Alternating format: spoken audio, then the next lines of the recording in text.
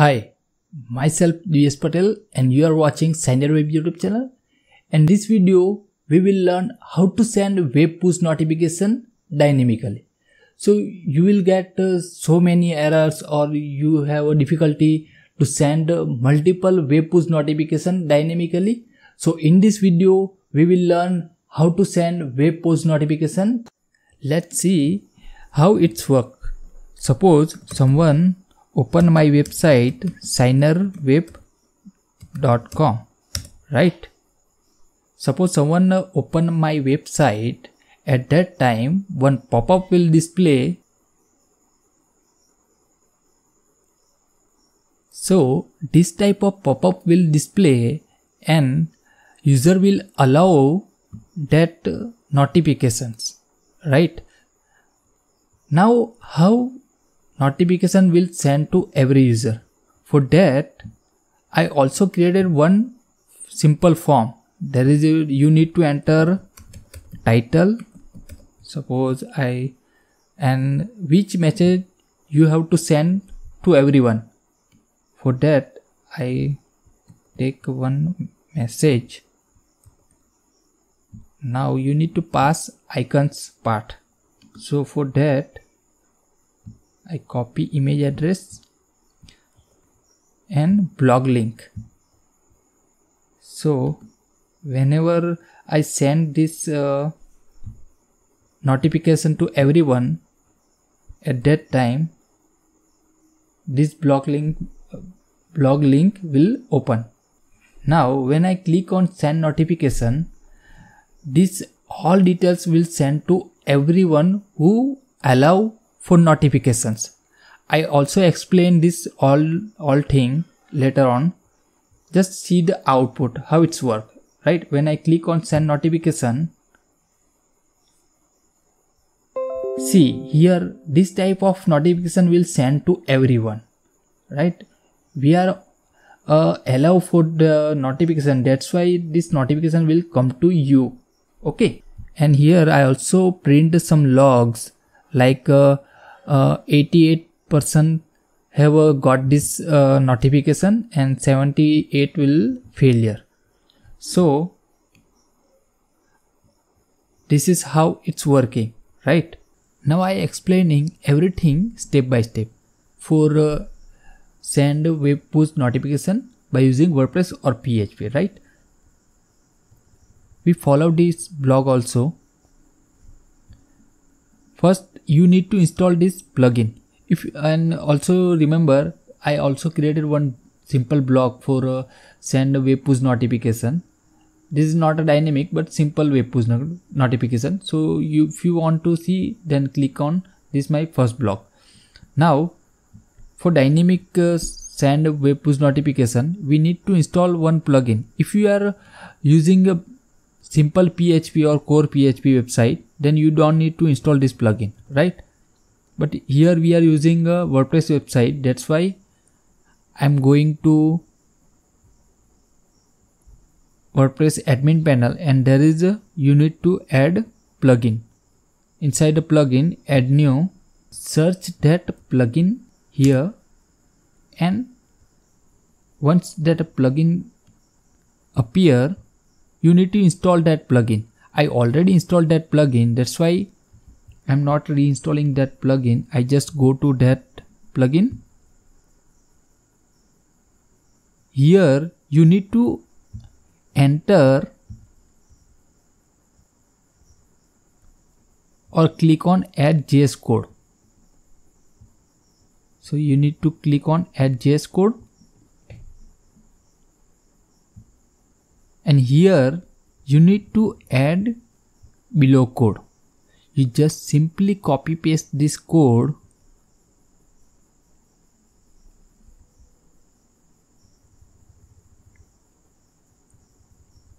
This whole code you need to copy right? Once you copy this code paste it inside this you need to enter one title like a firebase and paste your code here right? Inside this code you just need to remember you need to change your API key and your API ID and everything. That is that all API key and everything will get from your Firebase account. So you need to refer your Firebase account and set your API and everything right? And also here we have a write one Ajax block. Why we are writing this block? Because of what? We need to store all the tokens inside my one table.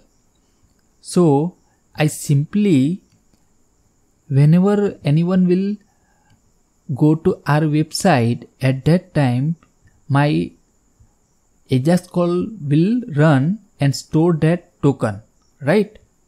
So also you just I already added this code inside my so I'm not saving this but you have first time you need to publish that code right? I already save or publish this code that's why I'm not publishing. Because of here you have to see my I already published that code right if you are using a simple PHP then you also need to copy paste this code into your simple PHP file right?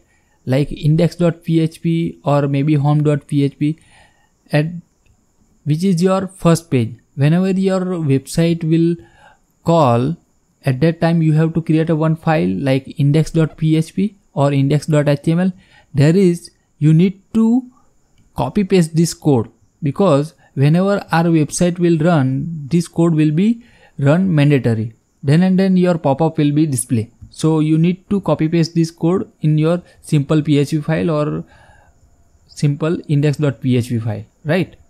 Here we are using a wordpress. That's why we are installing this uh, custom one css and js plugin. Now once you copy paste above code after that you need to create one table. Why we are creating the table? Because someone uh, login uh, someone visiting our website at that time they are allowing from the pop-up we need to store that tokens. Then and then we will send all web push notification. Otherwise we cannot send a web push notification dynamically. So that's why we simply created this table you just simply copy paste this code and go to your website phpMyAdmin and create simple this table notification tokens table. And there you have to see here there is so many tokens will store. This is a are so many tokens will store inside this table so you, we need to create this table also to store our all the tokens now, once you create your table, you need to save your token inside that table. By using a simple PHP or a CodeIgniter framework, what you have to prefer. Here, you need to remember, suppose you are using a simple PHP, then you need to write your PHP file name, suppose save.php. So simply you need to write your save.php file. Now here we are using CodeIgniter framework to save my token data. So I simply write my controller name and after that that controller will call my model function to store or save my token. If you are using simple PHP, you don't need to write uh, this type of code. You need to simply insert your token inside this table. This is your logic.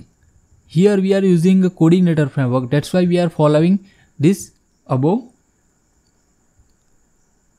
format like MVC framework. If you are using simple PHP, then you need to simple goal is what? You need to save your token inside this table, right? Once you save your token inside your table whenever you are uh, opening your website and clicking on allow button at that time above code will run and save your token inside this table. You can check your data by using above code. Okay. Once you save your token inside this table, now, now step 5 is what? Once you save your token inside the table, now how to send your messages to every that token which already we have saved inside the tables right so i have created one simple form right? You need to create one simple form like this. There is a title message icon part and blog link and send notification. You need to copy paste this code into your simple php file or inside the CodeIgniter file. You need to write this simple code. And you need to write action right? Here you need to send.php or here we are using a CodeIgniter framework. That's why i passing my controller name and then function name. Now what happening? Whenever i submit this form at that time i calling my one function send. And after that send function will do is what? We are getting all the tokens from my tables if you are using a simple php then you have to write code on your own way. Like you need to get all the token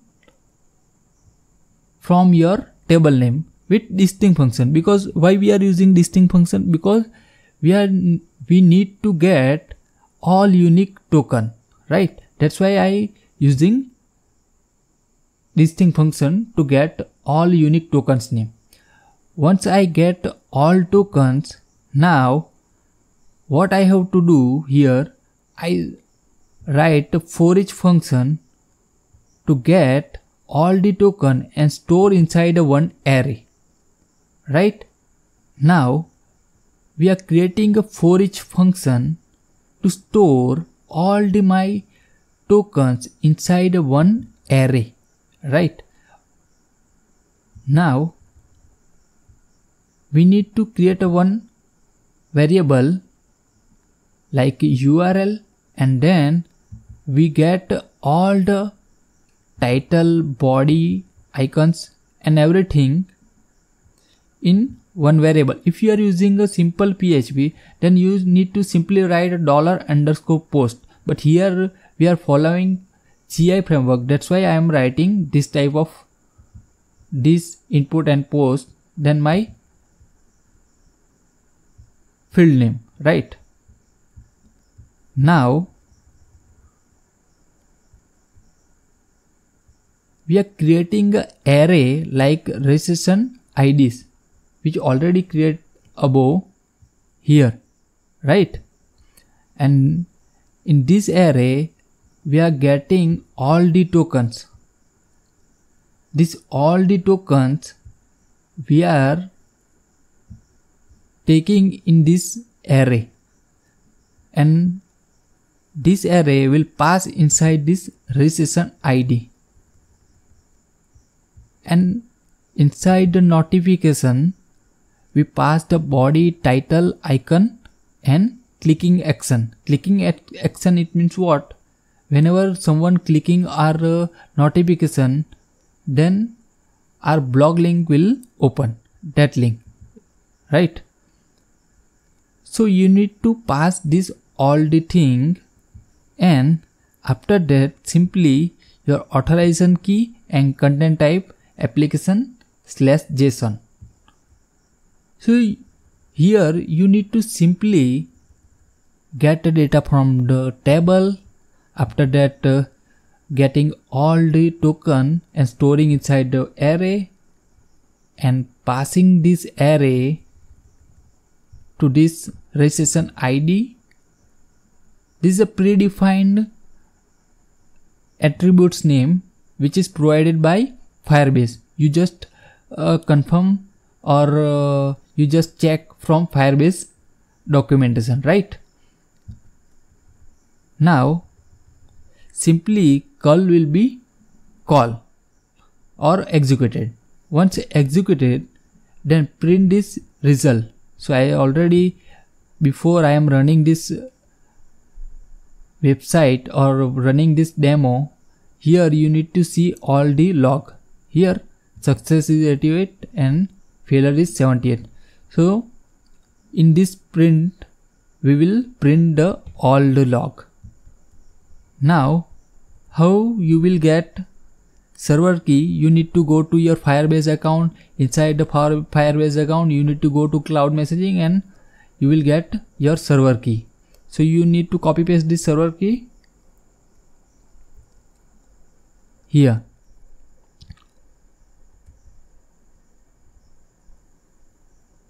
Right? I also shared this code by clicking on this link. So you will get all this code from this link so you can download it from there also. So you have to follow this step one by one right? Here nothing is uh, any hard. Now everything is done right? If you have any query any question please write it down your comments in comment section right? Or if you are implemented this firebase web push notification for your website. Please write it down your website name inside the comment section. Then and then i will check your website also. So i feel proud that you also implemented this firebase web push, push notification on your website. And i hope you will connecting with me. How you can connecting with me? If you are not subscribe our channel then how we will uh, connecting with you? So i hope you will subscribe our channel. I'm not forcing you but i hope you will subscribe our channel because you are developer we are developer. We are connecting to each other then we'll discuss everything. So i hope you will subscribe our channel and also we are we will uh, make so many video in future. So you will get that all, all that type of video also. So i hope you will connecting with us and yes if you have any query any any if you want to discuss with me then write it down your comments inside the comment section. So let so that's final.